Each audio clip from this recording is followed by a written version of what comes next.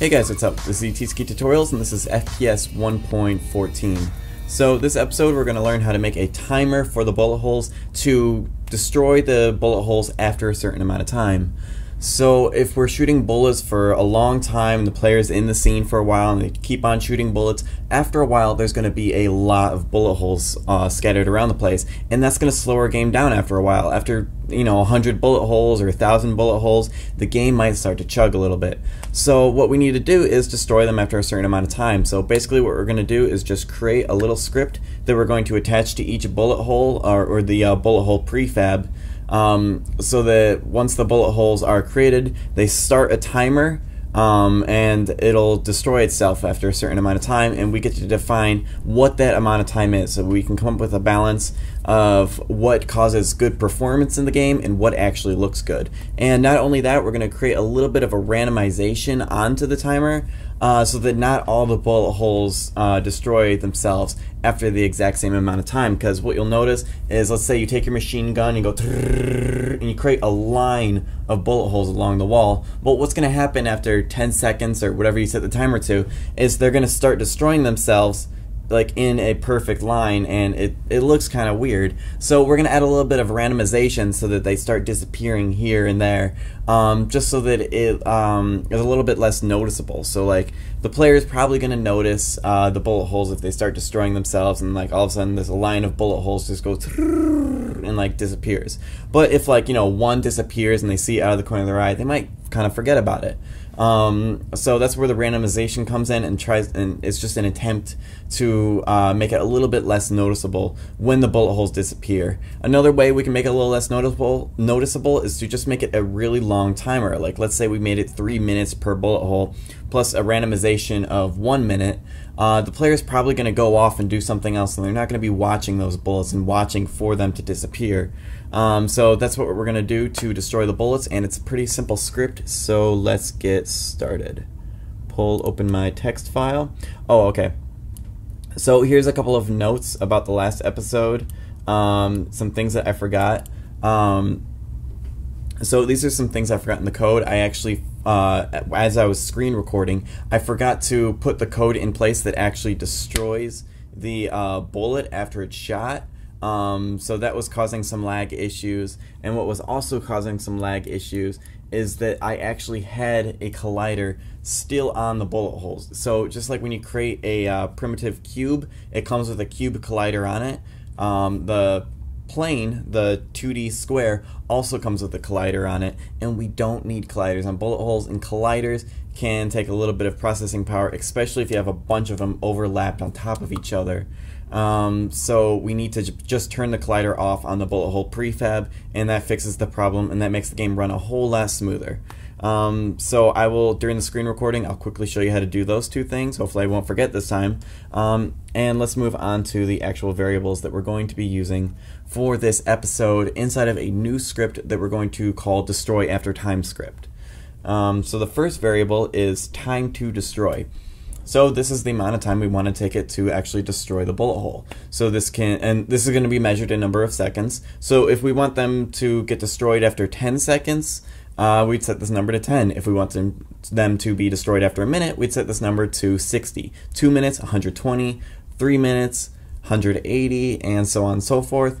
Okay, and then next we have time to destroy randomization. So what this number is going to be um, is a number, uh, it's going to be a random number added onto time to destroy, and this number is going to be between 0 and whatever we actually set the value of this to. So if we set it to a value of 1, it's going to add on to time to destroy um, anywhere between 0 and 60 seconds. So this will give us a nice randomization cushion so that uh, the bullet holes don't disappear in a completely linear fashion and it's a little bit more random and harder to spot. Um, and then we have variable count to time. Um, so this is going to be a timer that we're going to count up from zero, and once it is larger than time to destroy, plus the uh, time to destroy randomization, it's going to um, destroy itself. So yeah, let's get to the code. Alright, so here is destroy after time script. And the first thing we're going to do is create a function on awake, or on or function awake function. So basically, this uh, little bit of code is going to be called when the bullet hole is created. And what uh, this little bit of code is going to do is time to destroy plus equals random dot value times time to uh, time to destroy randomization. So uh, what this function here is, all right, first of all, random is a class. So to get any kind of random number, you're going to access the class random. And with inside of random is the variable value. So whenever you access uh, the variable value inside of the random class, it's going to give you a number between 0 and 1. Uh, and this is always going to be a random number. So uh, between the value of all right, so if you know any number times 0 is going to be 0, and any number times 1 is going to be itself, and then anywhere in between. So when we multiply this number that's going to be randomly between 0 and 1 and multiply it by this number here, it's going to end up giving us a number between 0 and the number time to destroy randomization.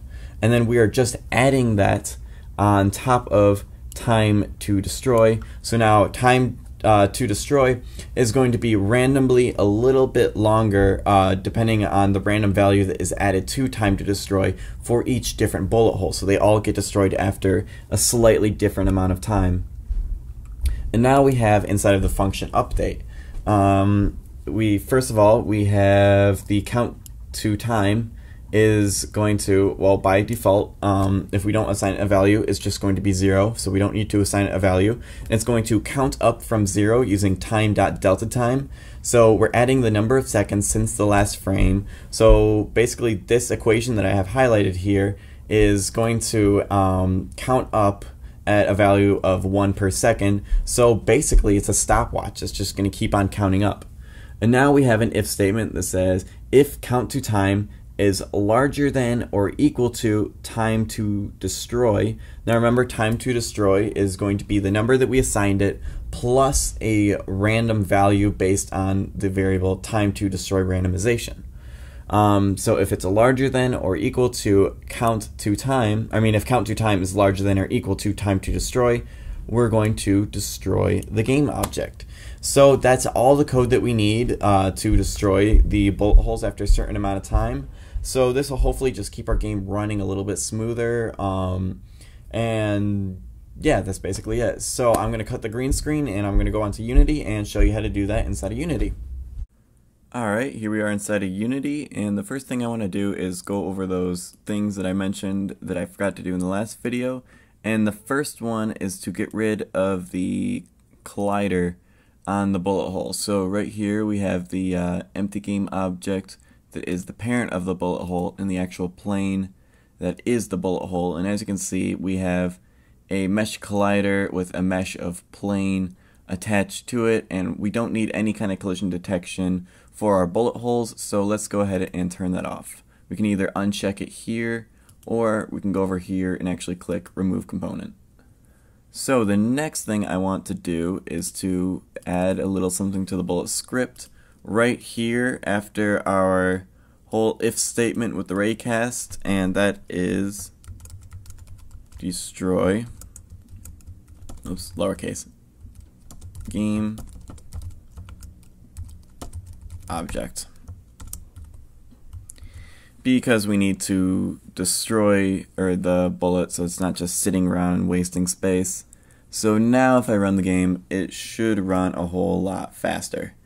And yeah, as you can see, the bullets are appearing a whole lot more smoothly and I can shoot a lot of bullets before it even begins to lag. So, yep, those are the things I forgot to mention in the last episode. So let's go into how to destroy the bullet holes after a certain amount of time. So the first thing we need to do is create a new JavaScript, and let's call this destroy after time script. And let's go ahead and apply that to the parent of the of the bullet hole because we don't want to apply it to the plane that's the bullet hole because that would just destroy the plane and we'd still have an empty game object sitting around. So we might as well destroy both. So we're going to put it on the parent because when you destroy a parent it will also destroy the child. So let's open up the script and let's put our variables in place. The first one was, what was it? destroy after time.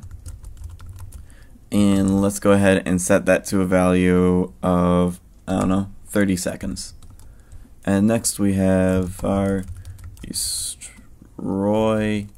after time randomization. I don't know if randomization is actually a real word.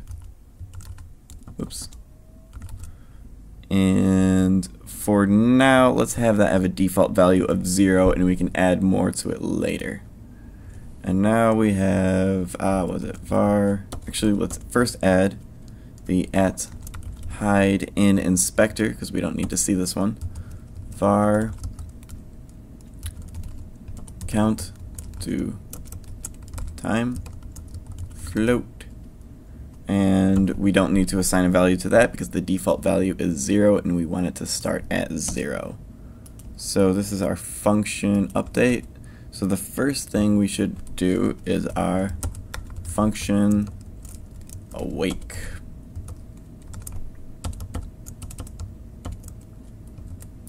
And the only line of code we have inside of function awake is time wait oh no it was destroy after time plus equal. And then inside of parentheses random dot value. And value is lowercase because it's actually a variable. And oh wait no it's not inside of parentheses. I was thinking of a different line of code. So random dot value times destroy after time randomization. So now we are just adding a number to destroy after time that is between 0 and destroy after time randomization. Now we have function update and I'm going to have count oops, to time plus equal time dot delta time. So that is going to just count up from zero at a, a rate of one per second. So now we have if count to time is more than or equal to destroy after time. We are going to destroy oops, lowercase, game object. Now let's save that and let's go into Unity. And it's applied. So 30 seconds. Let's change it to something smaller for our case just so that we don't need to wait around to see if it's working. So I'm shooting and it's been about three seconds. And there you go. They're destroying themselves but you can definitely see that uh, effect where you can just see the line of them doing that and it's very very noticeable. So now let's add some randomization to that. So why don't we set the randomization to 3 now if we set these both to larger numbers it should be even less noticeable. But now the bullets should be destroying themselves anywhere in between 3 and 6 seconds and as you can see it's a little bit more smooth and a little bit more hard to notice. They're kind of fading away more randomly and it's a little less you know it's a little less hard or easy to notice. So let's set these to a larger number. Um, let's well, actually let's do 20 plus 10. So now it'll take them 20 seconds plus a random amount between 0 and 10 to destroy themselves. And I'm just going to shoot a bunch. And let's wait and see if any of them start destroying themselves. They should be destroying themselves by now. There it goes. See, that's pretty hard to notice. It's, it's very subtle the way they're disappearing for the most part, is pretty subtle.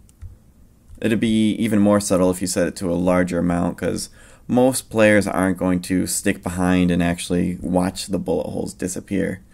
So we can set these numbers to more like, I don't know, three minutes for time to destroy and a minute for let's see what's three minutes uh 180 and we'll set this to like a minute so I'm not going to stick around to see if these numbers look good because that would just be a really long video because I don't want to sit around for three minutes to wait for these bullet holes to destroy themselves. But uh, yeah, that's how to make the bullet holes destroy themselves after a certain amount of time, plus a little bit of randomization to make sure it's a little bit less noticeable. So thanks for watching. I'll see you guys later. Keep making games.